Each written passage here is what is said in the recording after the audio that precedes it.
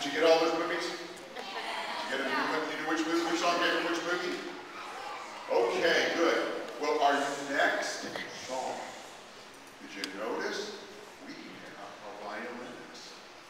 And this is Margaret Cox, and she is going to play. This is, a, this is a song from the 1960s. Parents, some of you were born then.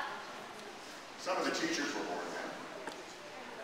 But this is a song from the 1960s. It's called Dust in the Wind. Parents, anybody ever heard of this song? Yeah, okay, good. There's a few of us that know the song. Now,